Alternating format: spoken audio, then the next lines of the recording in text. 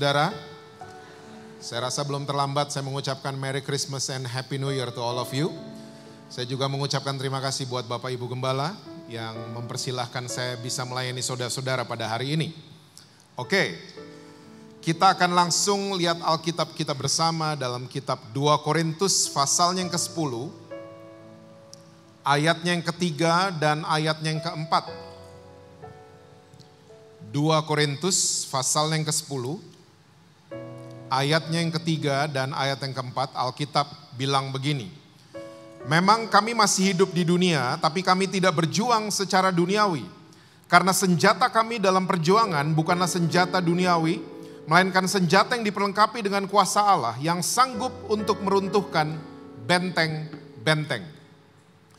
Kalau saudara senang judul khotbah, judul khotbah saya hari ini adalah pikiran Kristus. Karena begini, banyak sekali orang-orang Kristen punya tanggapan, punya pengertian tentang pertobatan. Dan banyak banget orang Kristen suka datengin saya dan mereka punya pengertian pertobatan itu seperti begini. Pak, orang Kristen yang bertobat adalah orang Kristen yang rajin kebaktian. Pak, orang Kristen yang bertobat adalah orang Kristen yang rajin ke gereja. Pak, orang Kristen yang bertobat adalah orang Kristen yang nangis-nangis waktu didoain. Muntah-muntah waktu didoain. Dan banyak yang bilang gini, Pak, Pertobatan itu senior atau junior pak? Saya bertobat tahun 80-an, kamu anak baru. Saya bertobat udah lama, kamu masih baru. Kita berpikir pertobatan seperti itu. Tapi saya mau yakinkan saudara-saudara semua di JCC pada pagi hari ini. Pertobatan yang sesungguhnya adalah kita merubah cara kita berpikir dari pikiran dunia menjadi pikiran Kristus. Dan pertobatan itu harus setiap hari, bukan senior atau junior.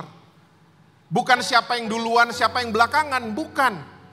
Tapi pertobatan itu harus setiap hari karena banyak sekali di dalam isi kepala saudara dan saya yang harus dirubah. Dari pikiran dunia menjadi pikiran Kristus.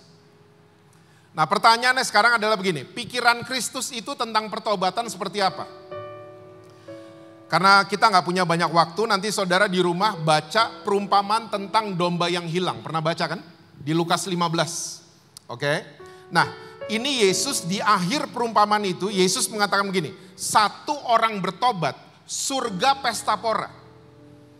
Dan saya udah sering banget baca perumpamaan tentang domba yang hilang. Oke, jadi yang hilang berapa saudara? Satu.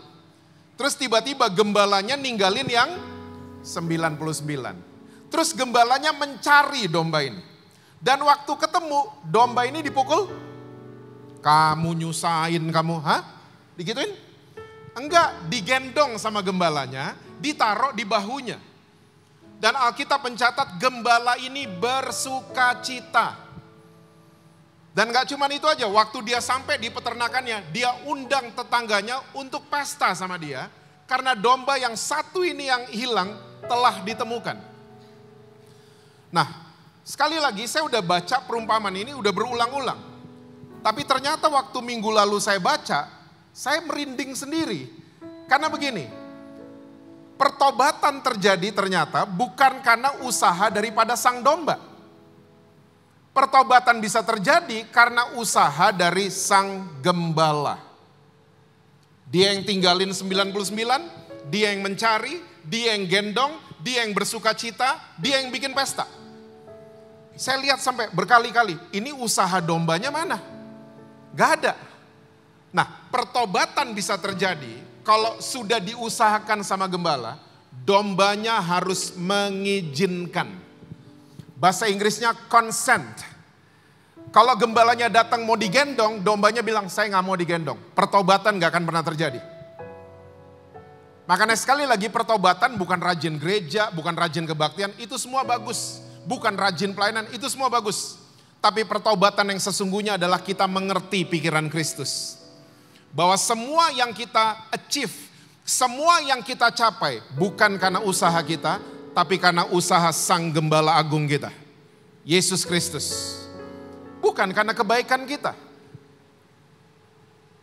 Nah ternyata Rasul Paulus di 2 Korintus 10 ini. Sesudah dia mencatat tentang trilogi pelayanan, ya 2 Korintus 3 pelayanan pembenaran, 2 Korintus 5 pelayanan pendamaian, 2 Korintus 8 dan 9 pelayanan kasih. Nah, 2 Korintus 10 ternyata Rasul Paulus ingin mengajak gereja Korintus untuk mereka merubah cara mereka berpikir. Diajak untuk bertobat. Ya, bukan cuma diajak rajin ngumpul, rajin bukan diajak itu, tapi diajak untuk merubah pikiran mereka. Nah, ada tips dari Rasul Paulus. Coba kita lihat sekali lagi ayat 3 dan ayat yang keempat. Memang kami masih hidup di dunia. Stop dulu, saya mau tanya dulu sama JCC. Saudara masih percaya kalau kita masih hidup di dunia? Masih ya? Karena saya suka ketemu orang Kristen, saking rohnya kakinya lupa mendarat. Di JCC kayaknya nggak ada kayaknya. Hah? Yes, kita boleh ngeroh karena kita hidup dipimpin sama roh Allah. Boleh. Ya, tapi percayalah kita masih hidup di dunia. Kita pulang ke rumah, pasang TV, drakor akan muncul. Kita masuk mobil, nyalain radio, lagunya Bon Jovi akan muncul. Karena apa? Kita masih hidup di dunia. Lanjut. Tetapi kami tidak berjuang secara duniawi. Karena senjata kami dalam perjuangan bukanlah senjata duniawi, melainkan senjata yang diperlengkapi dengan kuasa Allah yang sanggup untuk meruntuhkan benteng-benteng namanya adalah mendengar dan melakukan firman Tuhan.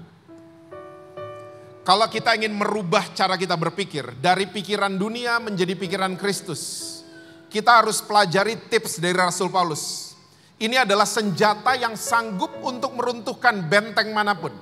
Namanya adalah mendengar dan melakukan firman Tuhan. Saudara sadar nggak banyak sekali orang Kristen yang berpikir lawatan Tuhan itu karena pembicara. Hmm? JCC enggak, makanya saudara kelihatan bingung. Banyak orang Kristen berpikir lawatan Tuhan itu tergantung sama pembicara. Well, ada bukti di Alkitab, Yesus datang di kota yang namanya Nazaret, tidak terjadi apa-apa. Yesus loh yang datang, pembicaranya Yesus. Kenapa tidak terjadi apa-apa? Karena penduduk Nazaret mereka dengerin Yesus tapi mereka menolak untuk melakukan. Mereka gerasa gerusukan, eh ini anaknya Ucup Mama Maria kan? Ini anaknya tetangga nih, udah gede, gondrong, kok khotbah-khotbahin kita? Mereka nggak terima dikhotbahin anak tetangga. So nothing happen di Nazaret. Tapi kalau saudara pernah baca cerita di perjanjian lama, ada seorang pembicara namanya Yunus.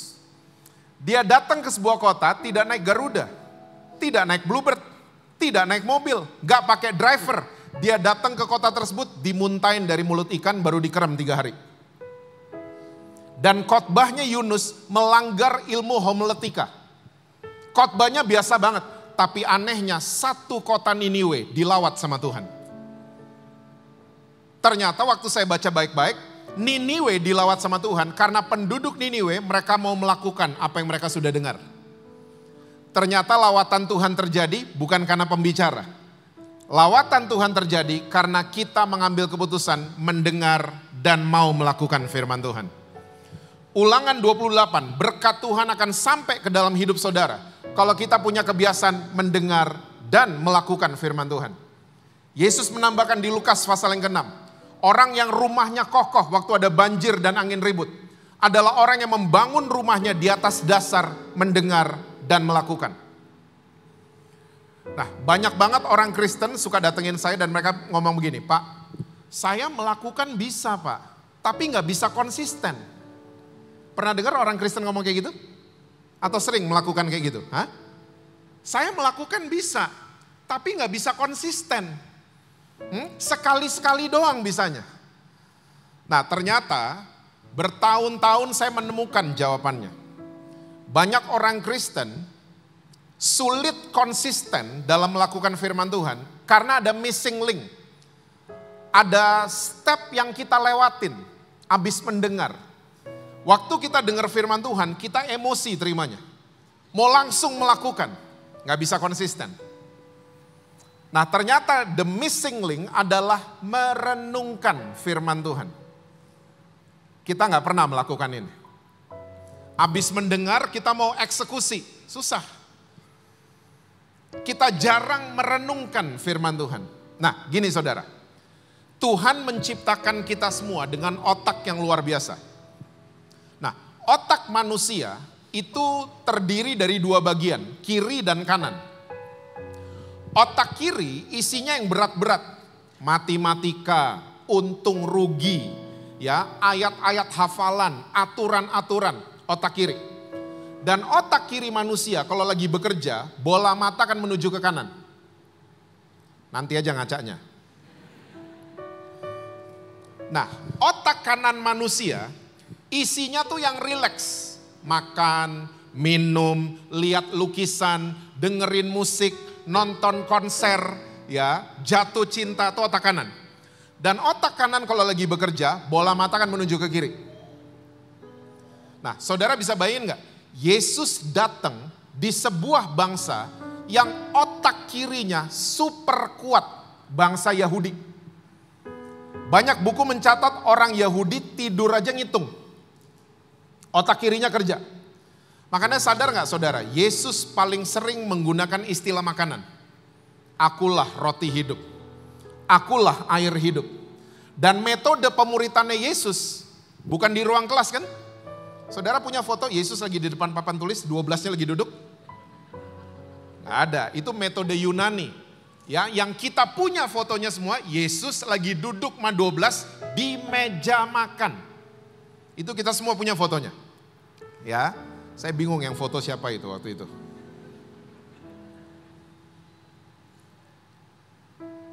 Nah, ternyata metode pemuritannya Yesus sampai hari ini itu masih relevan. Ada seorang dosen dari salah satu universitas di Jakarta. Dia kasih reviewnya di akun sosial medianya. Dia bilang begini, saya waktu deliver mata kuliah ke mahasiswa saya satu setengah jam, itu ruangan kelas boring. Karena itu metode Yunani. Ya, dosen di depan, murid-muridnya pada duduk. Oke. Dan setiap akhir mata kuliah saya selalu bertanya, ada yang mau bertanya? Dan mahasiswa saya tidak ada yang mau bertanya. Kalaupun mereka bertanya, pertanyaan mereka di luar konteks. Pak, liburnya kapan? Nah, dosen ini tiba-tiba dia mulai menemukan, dia bilang metodenya orang Yahudi. Sebenarnya bukan, ini metodenya Yesus sebenarnya. Dia tiba-tiba pengumuman sama kelasnya, dia bilang gini, mulai minggu depan kita kuliah di Citos, dia bilang. Mahasiswa, oh iya pak, serius? Iya. Gak usah bawa buku, gak usah bawa alat tulis, bawa uang aja buat beli makan dan minum. Datang semuanya. Ya, singkat cerita, kuliah yang biasanya satu setengah jam berubah jadi lima jam. Mahasiswa yang harus dipancing kalau mau bertanya, tiba-tiba bertanya sendiri. Gak perlu dipancing. Dan yang luar biasa, waktu ujian semua nilai mereka A+. Dan ternyata ini metodenya Yesus. Ya, yang masih relevan sampai hari ini. Saya mau bertanya, deal-deal bisnis besar terjadi di mana? Meja makan. Kalau di ruang meeting adendum terus.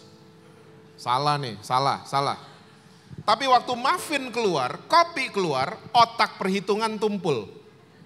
Otak kanan yang kejar tanda tangan. Yang masih single, kalau menyatakan cinta, jangan pernah di atas angkot. Saya suka sama kamu. Oh ditolak loh pasti. Hah? Ajak makan. Waktu udah dua tiga hap otak kanan yang ini baru saya suka sama kamu. 100% diterima. Ini master class loh ini. ya, Nah ternyata otak kanan saudara dan saya dibuat, diciptakan sama Tuhan untuk merenungkan firman Tuhan. Nah ini kita jarang buat.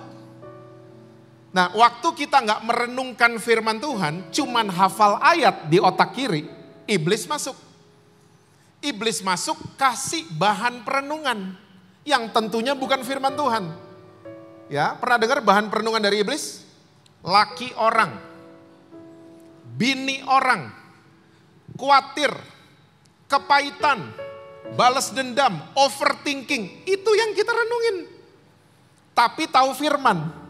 Pernah ketemu orang Kristen kayak gitu? Atau sering buat? Hmm? Tahu banyak ayat, tapi yang kita renungin bukan firman Tuhan. Makanya Daud ngerti ginian. Dia buka kitab Mazmur dengan renungkanlah Taurat Tuhan. Hari Natal doang. Siang dan malam. Karena iblis mendakwa saudara dan saya siang dan malam juga. Wahyu 12. Pakai otak kanan kita untuk merenungkan firman Tuhan. Waktu kita renungkan, dia jadi rema. Bahasa Indonesianya mendarah daging tiba-tiba. Dan waktu kita eksekusi jadi konsisten. Karena kita rajin merenungkan. Nah, step ini, tips dari Rasul Paulus ini, ini adalah senjata yang sanggup untuk meruntuhkan benteng mana pun. Mendengar dan melakukan firman Tuhan. Dan ini akan membantu saudara dan saya, pikiran kita berubah. Ya, dari pikiran dunia menjadi pikiran Kristus. Saya kasih contoh ya begini. Saya waktu tahun 97 itu pin, mulai mulai melayani Tuhan dan pindah ke Jakarta. Saya dulu tinggal di Bali. Waktu pindah ke Jakarta, barang-barang saya habis semua, dijarah. Ya, orang Jakarta belum pernah ngalamin dijarah, saya udah ngalamin duluan tahun 97. Ya, dijarah habis. Jadi saya sampai di Jakarta mulai dari nol, nol semuanya. Nah saya ingat banget waktu anak saya yang pertama sudah lahir tahun 98, saya diundang pelayanan. Uh senang banget. Apalagi waktu dikasih amplop, makin seneng lagi. Ya, saya lihat isinya 300 ribu, seneng banget. Zaman itu gede banget 300 ribu. Dan saya cuma punya pikiran gini, saya mau pakai uang ini untuk beli susu. Karena susunya anak saya nanti malam itu terakhir. Ya, terakhir dia minum, habis. Mereknya S26. Nggak ada yang tahu ya? Oke. Okay. Saudara kayaknya nggak tahu apa-apa deh tadi ya? Hah? I am kidding. I am kidding. Nah, singkat cerita, waktu lagi on the way ke rumah, tiba-tiba ada suara yang kuat sekali di dalam saya. Suara ini ngomong gini, kasih amplop itu ke tetangga kamu. Dia lagi perlu. Wih, ini perkara sulit ini. Ya, satu sisi anak saya perlu susu, satu sisi ini suara kuat sekali. Singkat cerita, saya sampai di rumah, saya kasih ke tetangga. Waktu dia lihat, dia nangis. Pak Jesse diutus sama siapa? Dia nangis. Kok jumlahnya pas? Saya lagi perlu, dia nangis. Saya ikut nangis. Beda genre tapi. Dia nangis karena terima uang, saya nangis karena nggak bisa beli susu. Saya masuk ke rumah, singkat cerita, saya cuma bilang sama Tuhan, Tuhan, I've done my part. Saya udah bikin bagian saya untuk taat sama engkau. Malamnya saya bisa tidur karena uh, besok pagi kalau Angel bangun dia harus harus minum susu. Ya, saya bisa tidur enak dan besoknya jam 6.15 bel rumah saya bunyi. Saya keluar rumah ternyata drivernya tante saya datang. Ya, tante saya sekarang udah bersama-sama dengan Tuhan Yesus, tante Stella namanya. Dan dia, saya tanya sama dia, Pak ada apa? Pak Jesse ada kiriman dari Ibu Stella. Waktu saya ambil S26, dua kaleng yang besar. Saya taruh di meja makan, masuk ke rumah. Baru taruh, saya dengar Angel nangis, bangun tidur. Kita sering pikir Tuhan itu terlambat. Tapi saya mau katakan buat JCC, Tuhan Yesus tidak pernah terlambat. Mulai hari itu isi kepala saya berubah dalam hal memberi. Berubah, berubah. Nah itu baru satu. Masih banyak hal yang lain kan yang perlu kita bertobat setiap hari. Makanya sekali lagi bertobat bukan aktivitas yang acara ini kita rajin, bukan. Tapi ini mesti rajin dirubah. Pikiran dunia kepada pikiran Kristus. Nah sekarang, ada satu oknum yang selalu mengganggu proses mind changing ini terjadi. Proses perubahan pikiran ini terjadi. Saudara tahu nggak nama oknumnya siapa? Bukan iblis. Nama oknumnya adalah khawatir. Iblis ngerti sekali. Kalau dia datengin saudara dan saya, dia bentuknya kayak setan di conjuring. Kita semua pasti berani. Makanya dia datang ke saudara dan saya dengan wujud yang berbeda dia ngelihat orang-orang yang jarang merenungkan firman Tuhan, otak kanan, dia akan masuk. Dia akan kasih bahan perenungan namanya khawatir. Orang kalau udah khawatir sulit merenungkan firman Tuhan. Orang kalau udah khawatir sulit melakukan firman Tuhan. Orang kalau sudah khawatir sulit disiplin, sulit taat sama firman Tuhan. Betul apa betul? Dan khawatir bukan dari Tuhan. Khawatir itu dari iblis. Dan please remember this. Orang kalau udah khawatir, dia bawa dirinya ke daerah musuh. Dia yang bawa dirinya. Ya, dia yang bawa dirinya ke daerah lawan. Yuk kita lihat 1 Samuel 27 ayat yang pertama. 1 Samuel 27 ayatnya yang pertama. Ini timer di sini masih 40 menit loh, keren banget. Jadi saya 40 menit lagi baru selesai. Itu judulnya Daud di antara orang Filistin, oke? Okay?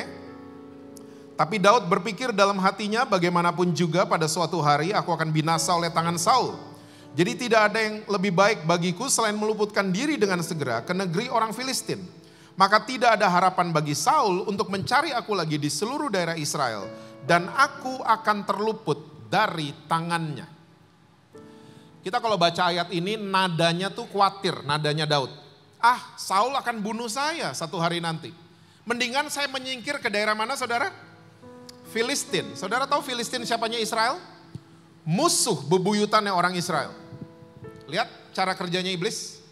Cuman dikasih khawatir, tiba-tiba Daud bawa dirinya ke daerah musuh. Dan untuk untuk beberapa saat Daud sempat melayani raja orang Filistin. Masih terjadi sampai hari ini? Masih terjadi. Kita katanya anaknya Tuhan Yesus, tapi karena kita dikuasai sama kekhawatiran, bukan pikiran Kristus, yang kita layani tiba-tiba raja kerajaan kegelapan. Musuh yang kita layani. Kita sefrekuensi sama pembohong, kita sefrekuensi sama perselingkuhan, dan lain sebagainya. Cuman karena khawatir. Banyak banget istri dan suami saya suka ketemu. Khawatir pasangan gak bisa berubah. Suami saya gak akan berubah. Istri saya gak akan berubah. Khawatir. Tiba-tiba reuni SMA. Ketemu pacar lama. Ternyata cucian lama belum kering Abis reuni, janjian ngopi. Pastor, cuman ngopi. Suami saya tahu, itu teman lama. Suami saya tahu kok. Janjian ngopi di mall. Tiba-tiba janjian lagi bukan di mall lagi, tapi di hotel. Lihat cara kerjanya iblis. Cuman kasih kita khawatir, kita yang bawa diri kita ke daerah musuh. Cuman karena khawatir. Saya mau ajak saudara-saudara semua, jangan khawatir. Saudara dan saya berjalan bersama-sama dengan Tuhan Yesus yang luar biasa. Jangan khawatir. Hmm? Saya kalau naik pesawat suka bingung. Goyang pesawatnya, yang sering bikin malu orang Kristen loh. Kalung salib dipegang. Huh, aduh, aduh, aduh. Kenapa tuh orang? Hmm? Pernah uh, awal Desember kemarin, uh, pesawat yang saya tumpangi turbulence cukup kuat itu teriaknya udah aneh-aneh loh di dalam pesawat. Allahu Akbar. Tiba-tiba ada yang teriak, darah Yesus. Nah ini dia nih. Kalau ada apa-apa saya mau komsel sama dia. Saya tandain orangnya. Tiba-tiba paling belakang, gede banget teriaknya, setan gitu. Setan dipanggil.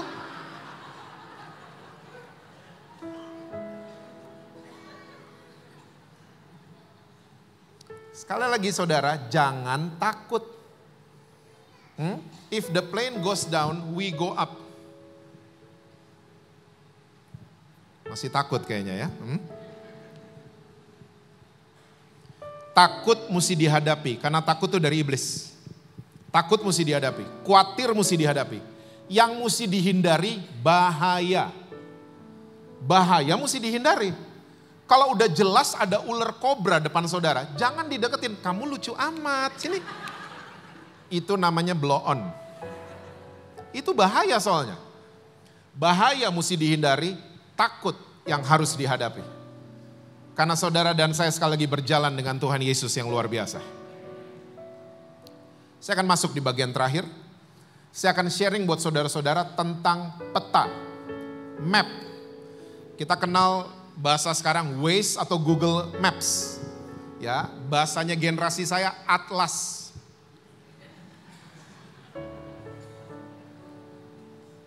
Tahu Atlas? Dia dewanya orang Yunani. Orang Yunani percaya planet bumi digendong ma Atlas. Jadi kalau ada gempa bumi itu karena Atlas sininya pegel, dia gini-gini. Gempa. Ya, itu kepercayaannya orang Greece, orang Yunani. Nah, peta Google Maps, Waze dibuat tujuannya begini. Kita ngelihat itu peta, gambar peta itu kerekam di kepala kita. Omongan kita akan sesuai sama peta? Petanya belok kanan, kita akan bilang juga belok kanan, gitu. Jalan kita akan sesuai dengan peta dan kita akan tiba di tempat sesuai titik. Itu tujuan peta dibuat. Nah, peta di dunia saudara dan saya ada tiga ternyata. Yang pertama namanya adalah peta politik. Peta politik itu apa? Peta politik itu begini. Indonesia 30 tahun lalu berapa provinsi? Boleh dengar jawabannya? 27. Sekarang berapa? Hmm. Tadi 27 seragam semua, 27 gitu. Sekarang ditanya berapa? Ada yang 38, ada yang 34, ada yang mukanya emang berubah, ada yang mukanya gitu. Ada kelihatan dari sini kelihatan. Indonesia sekarang 38 provinsinya. Itu jawaban yang benar. Nah, ini semua berubah karena situasi politik Indonesia berubah. Makanya petanya ikut berubah. Kalau kita nggak ikutin perkembangan, omongan kita salah nggak? Salah. Kita bisa ke travel, mau tiket domestik pesawat ke mana? Timur-timur. Salah. Itu udah international flight soalnya. Doa kita salah nggak? Tuhan pulihkan Indonesia yang terdiri dari 27 provinsi. Tuhan nyong udah 38 nyong. Salah semuanya. Masih ingat nggak dulu ada Jerman Barat dan Jerman Timur? Sekarang udah nggak ada. Karena situasi politik berubah, tembok Berlin diruntuhkan, sekarang petanya jadi satu Jerman saja. Masih ingat dulu ada negara namanya Uni Soviet? Sekarang udah nggak ada. Karena situasi politik mereka pecah jadi beberapa negara. Nah ini yang disebut dengan peta politik. Kita harus ikutin supaya nggak ketinggalan. Oke? Yang kedua namanya adalah peta yang berasal dari kerajaan kegelapan. Yesus bilang iblis punya kerajaan pasti ada mapnya. Nah orang percaya dari zaman Alkitab dicatat. Orang percaya suka melakukan spiritual mapping. Pemetaan rohani. Makanya dari zaman Alkitab yang paling jelas di kisah Rasul 19 ya. Ditemukan di kota Efesus ada orang kuat. Nah ini hasil pemetaan rohani.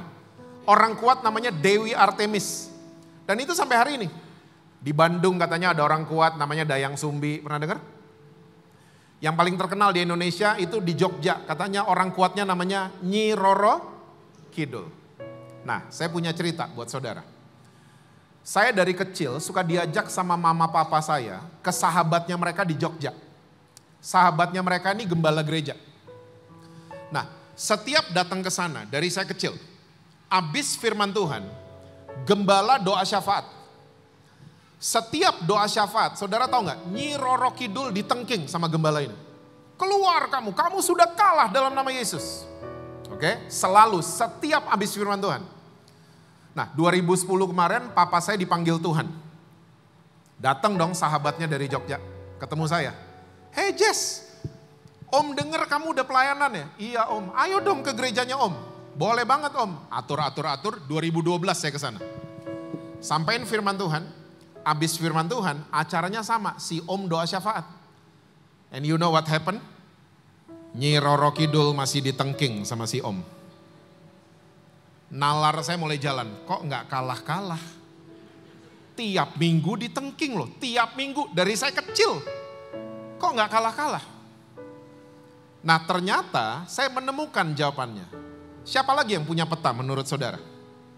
Kerajaan sorga punya petanya, ini petanya. Namanya firman Tuhan. Peta ini mengatakan Yesus waktu bangkit di hari yang ketiga, dia sudah mengalahkan semua. Semua dia sudah kalahkan. So pertanyaan saya yang sederhana. Menurut saudara, orang kuat di Jogja, Nyi Roro Kidul apa Yesus Kristus? Tinggal dirubah kan ini kita. Dirubah. Waktu dirubah, berubah semuanya. Orang Kristen suka datengin saya, Pak, rumah saya kayaknya belum bersih Pak lantai dua. Kenapa? Pembantu nggak balik? Bukan gitu Pak, bukan. Hmm? Itu kayaknya ada penunggunya Pak. Waktu kita terus percaya rumah kita ada penunggunya, terjadilah seperti imanmu. Tapi waktu kita mulai mengatakan rumah saya setiap sudut, setiap ruangan cuma dipenuhi mahadirat Tuhan. Terjadi juga seperti imanmu. Tahun 2003, saya nganterin teman saya masuk ke pedalaman Kalimantan. Teman saya diundang khotbah. Masuk ke gereja yang ngundang teman saya, saya kaget. Foto presidennya B.J. Habibie. Dalam hati, ini lupa ganti kayaknya. Nah, teman saya sampein firman Tuhan, mau selesai kebaktian, mau doa berkat, Pak Gembala doa syafaat kan. Tuhan memberkati presiden kami, Bapak B.J. Habibie. Dalam hati, wih ini nggak tahu bener ini. Selesai, zaman itu belum ada sosial media soalnya. Selesai kebaktian, teman saya memberanikan diri menyampaikan ke Pak Gembala. Pak, sorry ya Pak, kita mau nyampein sesuatu. Apa? Bilang aja, sorry nih Pak, presiden kita udah ganti. Saya timpalin, iya Pak, udah dua kali ganti. Kasian Pak Gembalanya, mukanya setengah kaget, setengah malu.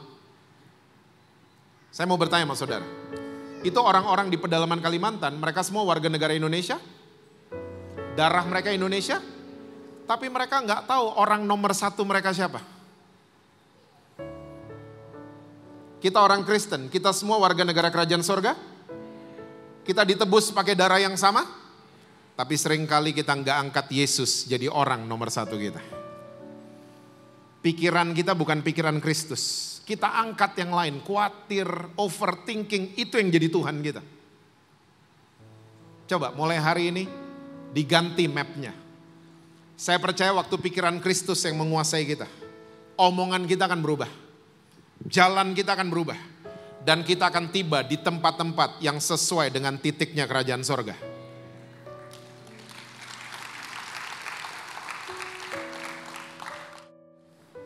Ahli ketik di zaman Soekarno bisa dipakai nggak di zaman Pak Jokowi? Kalau saya Pak Jokowi, saya panggil dia karena jarinya cepat.